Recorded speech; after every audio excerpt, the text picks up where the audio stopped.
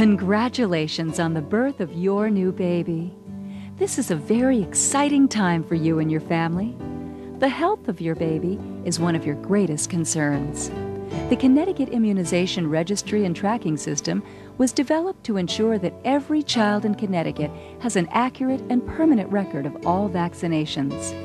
This computerized vaccination record will provide you and your child with easy access to this information in the future even if you move away from Connecticut or your baby's doctor retires.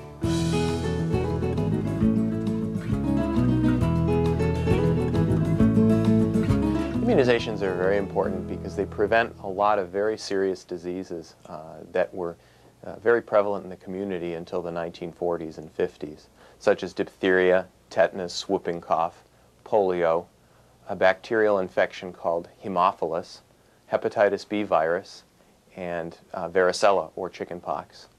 Even though uh, diseases don't exist in our community at this time, there's always the possibility that they could come back, especially if they're reintroduced, uh, for instance, from a foreign country.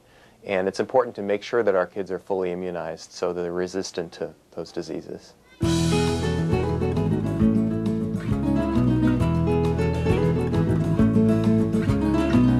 One problem that I see in my practice frequently is when children are starting a new school, many times they're not allowed to begin classes until they have proof of complete immunization.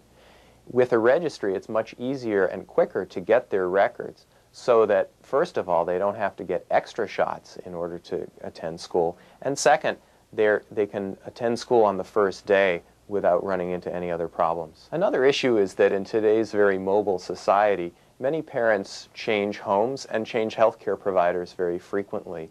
The problem of obtaining old records is getting more difficult for that reason. And with a centralized registry, uh, things can be easier both for healthcare providers and for parents who are changing. Pediatricians can help keep track of children getting their shots. Uh, many large offices do have systems that keep track of when children are due or behind for immunizations or visits. Smaller offices, however, don't. And that's what makes us really need a statewide system to track immunizations. Many times in the past, before the registry was in existence, uh, our office had to make multiple phone calls at a great cost of time and resources um, to get old records from patients' previous providers. Now it's much easier. We can dial up the registry uh, via computer and within a couple of minutes have a child's old immunization records.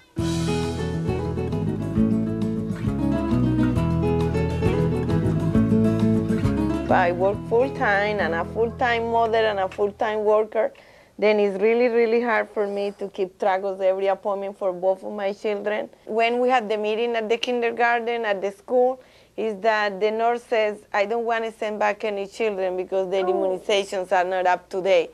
And I need the record of the immunization. I didn't have it with me. I called the, the old pediatrician and they couldn't give it to me right away. I went to the registry I asked for them and they gave me a copy of the record of my child, then it's really, really good. When I registered for college, before they would let me take any classes, they needed verification that I'd gotten all of my shots. Now, I knew I'd gotten all of my shots, but my doctor had changed offices. He'd moved to a hospital, and they had lost my records. I found myself having to get all of my shots over again. The registry would have saved me that by having my records readily available.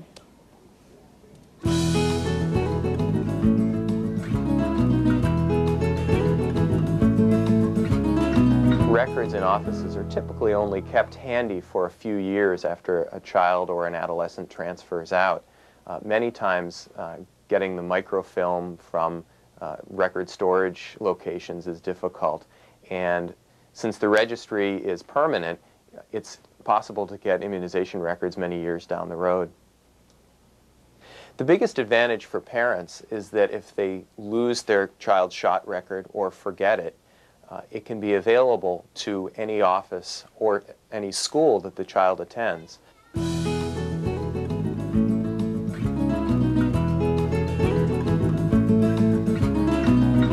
Parents in Connecticut, as well as in other states, have raised concerns over the confidentiality of records in the registry and have been hesitant to enroll their children because of this. In Connecticut, registry records are only available to healthcare providers that administer vaccinations. Anyone else needs to get permission from the parent or guardian before records can be released. My name is Jolene Adams White, and I work in the health department. I have uh, a 15 year old daughter who I've even back enrolled her immunizations for the simple fact if she should ever need to retrieve them. And I also have Jordan, who is two and a half years old, and he is enrolled. The registry is very confidential. When a parent chooses to enroll their child, we have them fill out a form, which is considered very confidential information.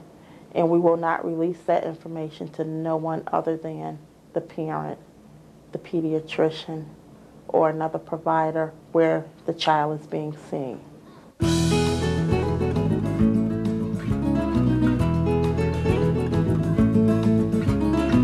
Parents of newborn babies are given a form to fill out when they're uh, in the nursery. And the easiest way to get a child enrolled in the registry is to fill those forms out on the spot. If a parent decides not to enroll the child for one reason or another, or if a parent moves from out of state and has a child uh, who's been born elsewhere, they can obtain enrollment forms uh, at their pediatrician's office, and the office can then forward them to the central registry.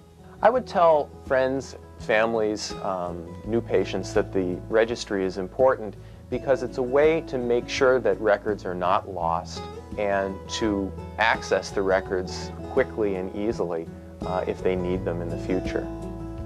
If you want more information on this program, talk to your floor nurse or call the State of Connecticut Department of Public Health Immunization Program at 860 509 7929.